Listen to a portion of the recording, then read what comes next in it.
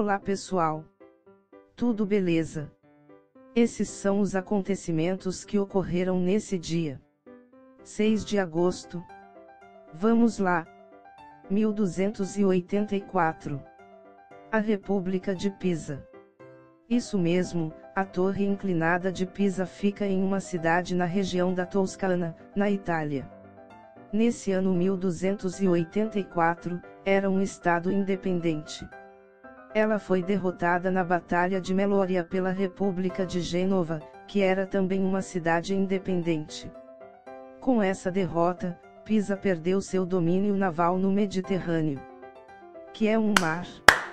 1945, durante a Segunda Guerra Mundial, a cidade de Hiroshima, no Japão, foi devastada quando a bomba atômica Little Boy é lançada pelo avião B-29 Enola Gay, dos Estados Unidos.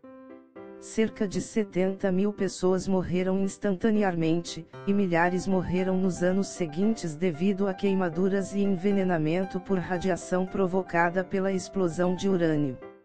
Obrigado pessoal por acompanharem o vídeo. Dessa vez foi bem rápido. Valeu!